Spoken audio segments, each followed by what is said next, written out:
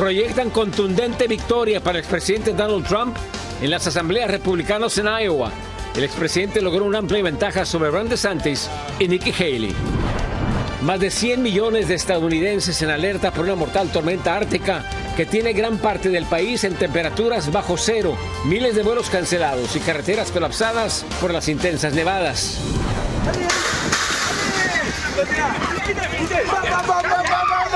Dramático cruce de migrantes en la frontera de Arizona entre gritos y llanto. Una mujer a punto de dar a luz busca desesperadamente atención médica del lado americano. Más de 700 migrantes retenidos en una bodega clandestina en Tlaxcala, en México. Niños, mujeres y hombres encontrados en precarias condiciones por las autoridades. En el día de Martin Luther King, un estudio confirma que los ataques racistas en contra de las minorías continúa arraigado y más vigente que nunca en este país. Más del 40% de los empleos afectados por el uso de la inteligencia artificial. El Fondo Monetario Internacional lanza dura advertencia sobre el uso de nuevas tecnologías. Así iniciamos cierre de edición. Muy buenas noches, bienvenidos a cierre de edición. Mil gracias por estar con nosotros. Les informa José Armando Ronstadt.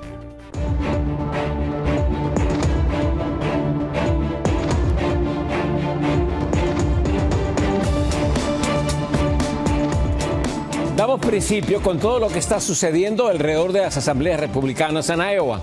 El expresidente Donald Trump se proyecta como el ganador, logrando una contundente victoria sobre Ron DeSantis y Nikki Haley. En Washington, DC, Alfredo Miranda nos tiene los últimos detalles. En medio de gélidas y extremas temperaturas invernales, se abrieron las asambleas partidarias republicanas en el estado de Iowa. No tuvo que pasar mucho tiempo para conocer la proyección del ganador de esta noche. Iowa siempre es el termómetro y lo que nos está diciendo esta noche es que, que sí, que Donald Trump presuntamente va a ser el nominado, el candidato eh, por el Partido Republicano a la presidencia. 1.657 precintos se abrieron en todo el estado de Iowa, que cuenta con 99 condados. Iowa solo tiene 40 delegados de los 2.429 de todo el país. Sin embargo, ese pequeño número puede ser crucial al momento de alcanzar los 1.215 delegados que se necesita para ser el candidato nominado del partido. Make America Great Again hats and, and carrying American flags and um, en lo que va del desarrollo del caucus, se ha observado una moderada participación de electores, quienes desafiando las bajas temperaturas se han constituido en los recintos del caucus. El tema de la tormenta invernal, la nieve, el frío también influenciaron un poco, pero los electores siguen siendo fieles a las votaciones saben que los caucus de Iowa eran importantes. El gasto combinado de todos los candidatos republicanos en publicidad en el estado de Iowa asciende a 123 millones de dólares. De ahí la preocupación sobre el efecto del clima extremo sobre la asistencia de los electores. We are going to be out all the way through the, the end of the caucus tonight. We've worked all 99 counties over the course of the month, many months. We built a great organization. We got so many great people. Después de que los electores terminen las presentaciones, debates y deliberaciones, se procederá a convocar a los grupos afines y se depositarán los votos. Luego del recuento, se harán conocer los resultados a nivel de precinto. La duración de las asambleas varía de un lugar a otro. En promedio, duran una hora y media. Algunas podrían extenderse hasta tres horas. La tabulación final podría conocerse cerca de medianoche o los primeros minutos de mañana martes. Desde Washington, Alfredo Miranda, Noticias, Estrella TV. Para continuar hablando sobre este tema, ya está con nosotros nuestro analista político Ricardo Brown. Ricardo, muy buenas noches. No hubo sorpresa en esto. No ha habido sorpresas hasta ahora, nada más que han contado, por lo que veo aquí en una cuenta que, que estoy viendo directamente desde Iowa, solo han contado el 38% de los votos emitidos. Se emitieron unos 130 mil. En estos momentos, eh, eh, Trump lleva la delantera con 52,2 eh, un poco más de 25 mil votos. Lo más interesante, sin embargo, es esa contienda por el segundo lugar, que es bien apretada en estos momentos y yo creo que va a continuar siendo así. De Santis eh, tiene 20,3%. Nikki Haley 19%. Si DeSantis logra mantenerse en segundo lugar, cobra un suspiro su, su campaña y probablemente sigue hasta New Hampshire. Pero si llega después de Nikki Haley, ¿se acaban ahí sus aspiraciones presidenciales, Ricardo? Eso es lo que, lo, lo, lo que cree la mayoría de los analistas, pero yo sospecho, ojo, 38% de los votos es lo que han sido eh, contados, que DeSantis puede continuar, a no ser que cambie eh, la situación, esta tendencia que estamos viendo en las próximas horas. Bueno, DeSantis eh, contó con el apoyo del gobernador, creo, y también con el apoyo de un líder evangelista que ah, posiblemente le ayuden a, lograr ese segundo lugar. No, y contó también con una eficaz, gente que llevó a, los votantes eh, que, lo apoyan a él, a DeSantis, a los sitios de, donde se celebran los cocos. A lo mejor esa es la diferencia que salva a DeSantis. Claro que le ha costado una millonada. Sí, además, como tú bien has mencionado, esto es un sistema arcaico, ¿no? Ahí cuentan los votos a mano. Oye, verdaderamente es algo eh, que llama mucho la atención, es pintoresco. Yo he estado siguiendo los votos y los cuentan a mano. Ya yo había estado en, en Iowa en, en, dos ocasiones, en dos caucuses, pero no deja de sorprenderme la lentitud del conteo es una democracia también auténtica porque están presentes en el conteo, son papelitos que escriben con el nombre del candidato y, y, quienes apoyan a Trump, quienes apoyan a DeSantis, quienes apoyan a Nikki Haley están allí presentes, ¿no? Y ven el, el conteo, pero es, es sumamente lento eh, el, el, proceso. Ricardo, Como señaló Alfredo, hasta, hasta la medianoche no vamos a tener resultados eh, finales. Bueno, pero desde un principio se anticipaba una victoria para Donald Trump, que incluso no pasó mucho tiempo ahí. Y me sorprendió el llamado que hizo, un poco drástico, cuando dijo, salgan a votar, no importa que estén tan enfermos como un perro y no importa que se mueran después, pero salgan a votar. Hay quienes dicen que eso fue jocoso, pero un candidato a la presidencia tan polémico como Donald Trump, pienso yo, me atrevo a decir, debería de cuidarse eh, de decir cosas que pueden ser interpretadas eh, de, de, una manera. No sé si fue su intención hacer un chiste, si es un chiste no, no le salió bien. ¿Qué sigue ahora? Lo próximo, bueno, Trump mañana eh, va a Nueva York, tiene un juicio pendiente, el juicio de la señora esta que lo, lo acusó de difamación y lo ha vuelto a acusar de difamación. El próximo evento electoral es dentro de ocho días en New Hampshire. No te puedo decir en este momento qué impacto va a tener en New Hampshire lo que estamos viendo lo, y lo que vamos a ver en las próximas horas en, en Iowa, pero yo, yo creía que a lo mejor esto terminaba hoy. Estoy sospechando que no, que, que sigue, que, que, que, Nikki Haley va a continuar a New Hampshire y posiblemente DeSantis, eh, todos esos pronósticos de que iba a quedar sepultada bajo la, la, la nieve el hielo su candidatura, a lo mejor fueron un poco prematuros. Bueno, falta mucho por ver todavía. Gracias, Ricardo. Muy buenas noches. Gracias por estar con nosotros. Buenas noches. Gracias. Por cierto, el mal tiempo sigue afectando al país. Las bajas temperaturas mantienen alerta. Más de 100 millones de personas tienen paralizados aeropuertos y ya causó víctimas fatales. Wendy Castillo nos tiene más información.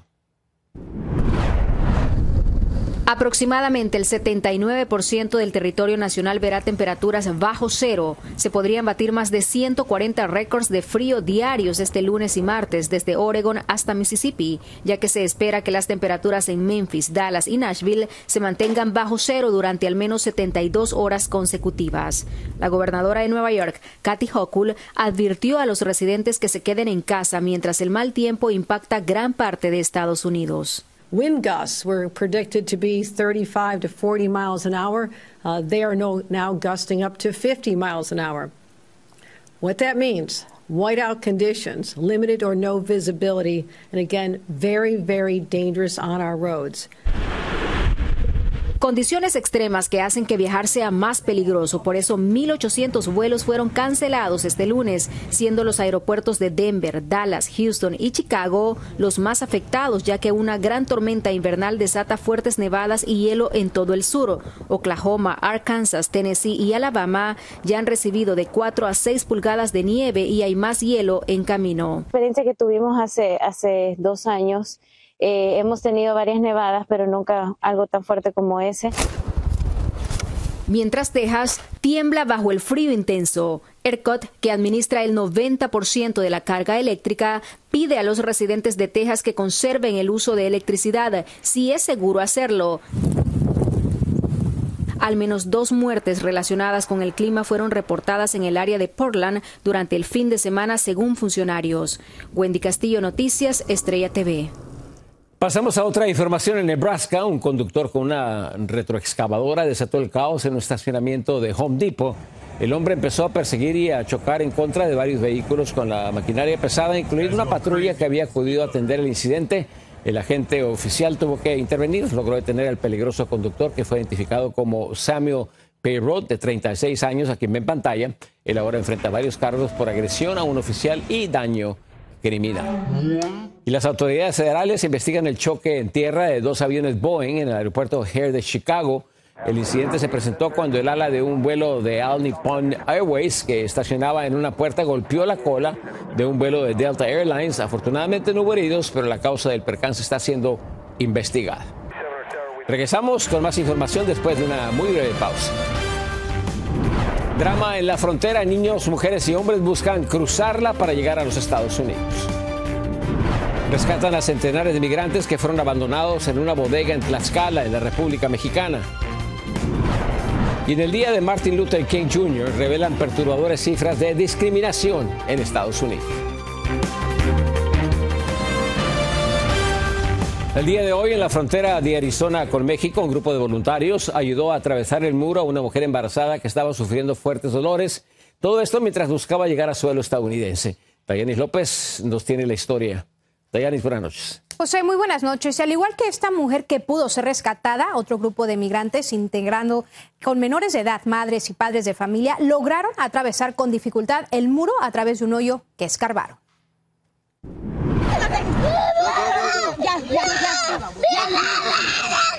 Así, desafiando la gran altura de este muro de hierro por un hueco debajo de la tierra, padres de familia arriesgaban su vida y la de sus hijos por conseguir una mejor vida.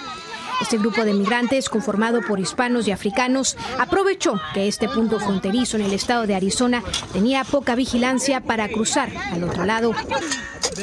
Los migrantes excavaban a toda velocidad un hoyo con manos, palas y hasta piedras para que cupiera cada uno de ellos. Nosotros pasamos, pues, sin cosas, solo le pudimos lanzar nuestra mochila. Esta chamarrita para poder dormir, que es demasiado frío. Mientras tanto, esta agotada mujer embarazada que se quedó atrás y con fuertes dolores, quizás por la fuerte impresión o porque su pequeño quería venir al mundo en medio de la búsqueda de sus padres de un mejor futuro para él o para ella. Que no la podemos dejar al otro lado del muro porque se nos muere sí estaba sangrando ella ya. Entonces esa fue la desesperación de todos. Tras la agonizante emergencia que sufría esta inmigrante, voluntarios del lado de Estados Unidos tuvieron que jalar la reja del muro con esta camioneta 4x4 para romperla y que esta madre pudiera cruzar finalmente. Al tocar solo estadounidense, la mujer entre fuertes emociones y dolores no pudo contener las lágrimas. Thank you so much. Acuerdo con testigos, la madre fue llevada inmediatamente a un centro médico. Ahora bien, quienes también consiguieron atravesar la primera batalla de su nuevo destino en Estados Unidos piden una oportunidad al gobierno. Que me den la oportunidad para trabajar usted, para sacar mi familia adelante, que no tengo nada. Y aunque hace unos días el gobierno mexicano señaló que han disminuido los flujos de migrantes hacia Estados Unidos por su territorio, como vimos en estas desgarradoras historias, los migrantes están dispuestos a todo, a desafiar las leyes, cualquier muro, río o desierto con tal de conseguir una mejor vida. José. Gracias, Dayanis. Pasamos a otra información. El Departamento de Seguridad Nacional amenazó con tomar medidas en contra del Estado de Texas por bloquear el acceso a la frontera. Lo acusan de comportamiento inconstitucional y exigen el retiro de las barreras fronterizas. La disputa se intensificó cuando Texas bloqueó el acceso al parque Shelby en Eagle Pass y evitó que las autoridades federales rescataran a tres migrantes que desafortunadamente perdieron la vida ahogados en el río Bravo. Y el aumento de cruces fronterizos irregulares tiene desbordadas las cortes del país. Según un reporte desde el año 2019, la cifra de solicitudes de asilo se han triplicado y ahora más de 3 millones de casos permanecen estancados en las cortes de inmigración. Abogados, jueces y defensores temen que la cifra récord de solicitudes alarguen aún más los tiempos de espera y colapsen el sistema. Y en México fueron rescatados más de 700 migrantes abandonados a su suerte y en condiciones precarias. Se encontraron en una bodega en el estado de Tlaxcala. Laura Ortega con los detalles. El Instituto Nacional de Migración informó que 726 personas provenientes de El Salvador, Guatemala, Honduras, Nicaragua y Ecuador fueron rescatadas durante el fin de semana tras recibir una llamada anónima sobre el traslado irregular de migrantes a una bodega ubicada en el municipio de Coaxomulco, entre ellos varios menores de edad. Al realizar la revisión correspondiente, los oficiales encontraron en el lugar a 75 menores no acompañados, 108 mujeres, 399 hombres adultos solos y 144 personas integrantes de 45 familias, todos en condiciones precarias y algunos en evidente estado de deshidratación, a quienes fue necesario brindarles atención médica. Según reporte, los migrantes fueron ingresados en dos tractocamiones a la bodega donde los traficantes pretendían esconderlos para posteriormente trasladarlos a otro lugar. Por fortuna, fueron hallados a tiempo en un operativo en conjunto de elementos de la Secretaría de la Defensa Nacional, la Guardia Nacional y policías locales que terminaron en el arresto de seis personas, incluyendo cuatro capturadas durante el rescate y que están siendo procesadas por presunto tráfico de personas. Las más de 700 personas fueron trasladadas a un auditorio para iniciar trámites de repatriación. Este lunes, al menos 132 personas ya han sido enviados a la estación migratoria siglo XXI en Tapachula para iniciar su deportación hacia Guatemala. Para Noticias Estrella TV, Laura Ortega. Después del corte, regresamos con más noticias. Un revelador estudio muestra que el racismo es más vigente que nunca en este país. La inteligencia artificial amenaza los trabajos a nivel mundial. Los detalles en cuanto regresemos. En el día conmemorativo de Martin Luther King, un estudio nacional revela que la discriminación en contra de las minorías prevalece en los Estados Unidos. Anthony Belchi desde Miami nos amplía.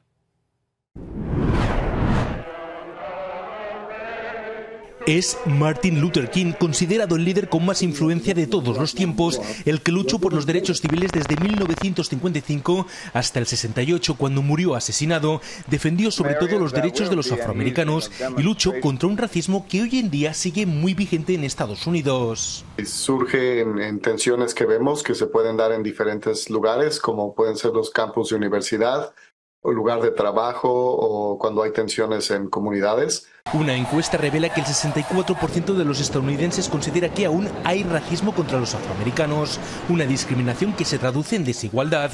Un afroamericano puede llegar a cobrar casi un 10% menos que un blanco. Se puede vislumbrar en situaciones económicas donde hay todavía circunstancias que afectan, por ejemplo, la educación, las circunstancias de vivienda, y las oportunidades económicas. En clave política, esta situación no ha hecho más que dividir a la población. El presidente Biden ha criticado a su antecesor y probable nuevo contrincante por no hacer nada contra los grupos supremacistas blancos, que en algunos casos han mostrado su apoyo a Donald Trump.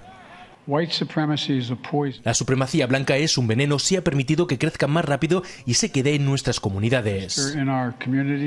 Mientras tanto, otros sectores como el del cine siguen haciendo esfuerzos para que esta industria sea más diversa y eso se traslade al resto de la sociedad.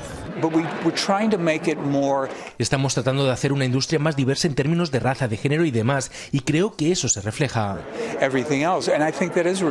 A pesar de eso, casi un 70% de la población cree que los derechos civiles han mejorado, pero que falta mucho por hacer.